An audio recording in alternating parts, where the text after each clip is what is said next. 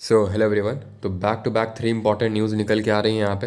पहली न्यूज़ तो ये है कि आप लोगों का जो C D S two twenty twenty one का रिज़ल्ट है रिटर्न रिज़ल्ट वो डिक्लेयर कर दिया गया है। जिसके रिगार्डिंग मैंने बताया था अभी एक हफ़्ते पहले ही कि एक हफ़्ते में आप लोगों का रिज़ल्ट आ जाएगा सी डी एस का, जो कि आ चुका है। और दूसरी इंपॉर्टेंट न्यूज़ ये है कि C D S one twenty twenty two का जो नोटिफिकेशन है वो रिलीज़ हो चुका है और साथ ही साथ N D A one two twenty twenty two का नोटिफिकेशन भी रिलीज़ हो चुका है, जब से आप लोगों का एन डी ए और सी डी एस आपको पता है, एक ही दिन होता है अब से होने लगा आपका एग्ज़ाम अभी फोर्टीन नवंबर को हुआ था एक साथ।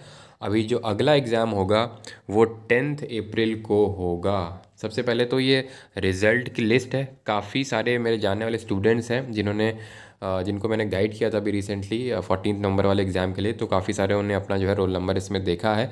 अब मैं आपको इंपॉर्टेंट जो चीज़ है इस वीडियो में जो दिखाना चाहता हूँ, वो मैं आपको दिखाता हूँ अभी। तो जो इंपॉर्टेंट चीज़ है, वो ये है कि इस बार जो सीडीएस में आपकी three forty one total vacancies निकली हैं। ये मैं सिर्फ़ अभी सीडीएस की बात करूँ अभी मैं NDA के नोटिफिकेशन पर भी आऊँगा। लेकिन आपने भी एक चीज़ नोटिस किया होगा, जब से आप लोगों का एफोर्स का रिज़ल्ट नहीं आ रहा तो आप लोग भी ये सोच रहे होंगे कि सर ऑल्टरनेटिव्स के बारे में ज़्यादा बता रहे हैं। और बिल्कुल रियलिटी भी है। मैं ऑल्टरनेटिव्स के बारे में ज़्यादा बता रहा हूँ कि रिज़ल्ट और एनरोलमेंट का वेट इंतज़ार करने से अच्छा है कि आप लोग ऑल्टरनेटिव्स बाकी सारे एग्ज़ाम्स में भी हाथ मारें, हाथ आजमाएँ अपने। क्योंकि ये जो मैंने आपको पहले बता चुका हूँ और अभी भी मैं आपको बताता हूँ जो मेरे काफ़ी जाने वाले स्टूडेंट्स हैं, जिनको भी मैंने पिछले कुछ महीनों में गाइड किया था सीडीएस के लिए, वो उनमें से काफ़ी स्टूडेंट्स थे जो एनरोलमेंट का वेट कर रहे थे, कुछ थे जो रिज़ल्ट का वेट कर रहे थे, ठीक है? तो ऐसे स्टूडेंट्स ने यहाँ पे रिटर्न क्लियर कर लिया है तो फिर आप भी कर सकते हैं। मैं यहाँ पे सिर्फ़ इतना कहना चाहता हूँ कि अगर आप एलिजिबल हैं मैं पहले ही बता दूँ सीडीएस के लिए अगर आप ग्रेजुएशन फाइनल ईयर है तो भी आप इसके लिए फॉर्म अप्लाई कर सकते हैं। और उससे पहले मैं आपको एक चीज़ और बता दूँ कि बहुत सारे स्टूडेंट कोस्ट गार्ड के लिए बोल रहे थे तो उसका पूरा आपको कल मॉर्निंग में सारी चीज़ें पता चल जाएँगी, कैसे इस चैनल पर आपको क्लासेस मिलेंगे कोस्ट गार्ड की। खैर, अभी सीडीएस पे आते हैं सीडीएस और एनडीए जो मेन है, ठीक है? या तो आप सीडीएस के लिए एलिजिबल हो गया, फिर एनडीए के लिए। तो अगर आप एलिजिबल हो, और अगर आप प्रिपरेशन ज़रा सा भी यानी कि ज़रा सा भी से मेरा मतलब है कि अगर आपके अंदर गट्स हैं प्रिपरेशन स्टार्ट करने के तो बिल्कुल इसकी प्रिपरेशन स्टार्ट कीजिए। इसमें इंग्लिश है, जीके है, मैथ्स है, ठीक है? और अगर आप ओ लेते हैं तो मैथ्स नहीं है, सिर्फ़ इंग्लिश एंड जीके है। जो जीके पोर्शन है, जीके, इसमें आपका पॉलिटी, हिस्ट्री जोग्राफी ये तो आता ही है, प्लस साइंस भी होता है, ठीक है? इसी में साइंस को भी इंक्लूड करता हूँ। साथ ही साथ ऐसे ही एनडीए में भी होता है। तो ये जो हो गया आपका पूरा पॉलिटी जोग्राफी हिस्ट्री और साइंस, ये चारों पोर्शन जीके के अंदर घुसे हुए हैं। ये आप मुझ पर कम्प्लीटली छोड़ सकते हो। जिस प्रकार एयरफोर्स में आपने डायरेक्टली क्वेश्चंस देखे थे, जो मैंने आपको चीज़ें बताई थी, इस बार क्योंकि अभी मैंने जो फोर्टीन नंबर को एग्ज़ाम हुआ था, सिर्फ़ लास्ट में कुछ बुलेट पॉइंट्स के तौर पे जो इंपॉर्टेंट टॉपिक्स थे, सिर्फ़ वो मैंने रिवाइज़ करवा दिए थे। तो वहाँ से कुछ क्वेश्चंस देखने को मिले।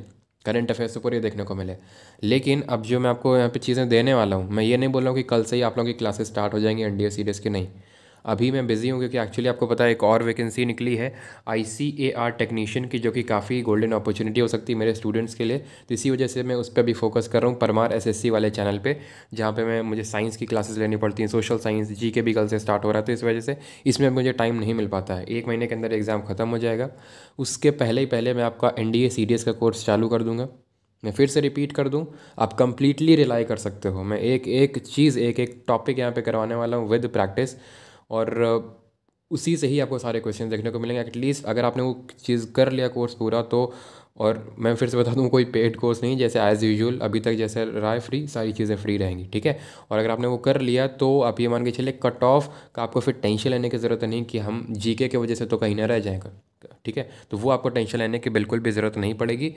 That I am committing in this video ये है आपका एनडीए का notification total four hundred four hundred यहाँ पे वैकेंसीज़ हैं। आप देख सकते हो कि कौन सी पोस्ट में आर्मी में कितनी नेवी में कितनी और एयरफोर्स में कितनी है, ठीक है? इसके एप्लीकेशन चालू हो चुके हैं, ठीक है? तो आप एज़ सुन एज़ पॉसिबल इसके लिए अप्लाई कर दो। एन डी दोनों के लिए एप्लीकेशन चालू हो। गए और आपको पता है दोनों ही एग्ज़ाम एक साथ होंगे। अब एग्ज़ाम कब होंगे?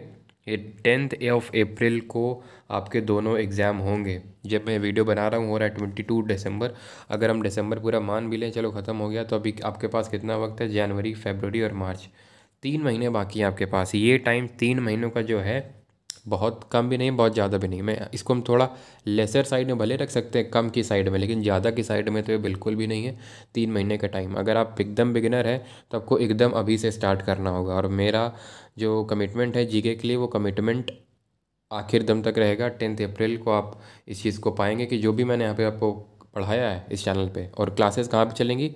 इसी चैनल पे स्टार्ट होंगे, जब भी स्टार्ट होंगे, आपको बता दिया जाएगा। हो सकता है एक वीक के बाद हो जाए, हो सकता है दस दिन के बाद। मैं कंफर्म नहीं कह रहा हूँ इसी वजह से, क्योंकि मैं अगर एक बार स्टार्ट करूँगा तो वो रेगुलर रहेंगी और वहाँ से आपको एग्ज़ाम्स में जो है आपके डायरेक्टली क्वेश्चन देखने को मिलेंगे, ठीक है? तो यहाँ पे इंपॉर्टेंट बात यह है कि आप लोग का जो जो फॉर्म फिलिंग का जो लास्ट डेट है वो इलेवेंथ ऑफ़ जनवरी है तो इस डेट तक अपना फॉर्म आप ज़रूर फिल कर दें और अपनी आप प्रिपरेशन भी स्टार्ट कर दें, जो भी आपका प्रिपरेशन लेवल है उस हिसाब से। ठीक है? और मैं आपको रेगुलर बेसिस पे गाइड करता रहूँगा और सारी चीज़ें मैंने आपको क्लियर कर दी है कि मैं आपको जी के साइंस पूरा पोर्शन करवाने वाला हूँ और उसके रिगार्डिंग आपको बिल्कुल भी टेंशन लेने की ज़रूरत नहीं है। जितना भी मैं आपको नोट्स वगैरह दूँगा, सिर्फ़ आपको उतना करके जाना है। ठीक है? तो सबसे पहले तो आप कमेंट सेक्शन में मुझे ज़रूर बताइएगा इस चीज़ के रिगार्डिंग कि आप किसका फॉर्म डालने वाले हैं एनडीए का या फिर सीडीएस का? अगर मान लीजिए कि आपकी सिचुएशन ऐसी है कि आप किसी का फॉर्म नहीं डाल सकते हैं कुछ कारणवश, जैसे कि आपकी ग्रेजुएशन नहीं हुई है, ठीक है? और आप एन के लिए ओवर एज हो चुके हैं, कुछ भी कंडीशन है।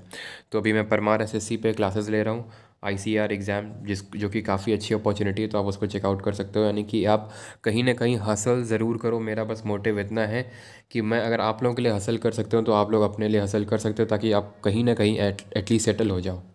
ठीक है? तो वो आपको काफ़ी, और मैं देखिए, ये नहीं कह रहा हूँ कि ए एयरफोर्स का रिज़ल्ट नहीं आएगा इनरोलमेंट बिल्कुल आएगा बिल्कुल आएगा। ठीक है? लेकिन क्यों ना हम तब तक कहीं और भी ट्राई ज़रूर करें।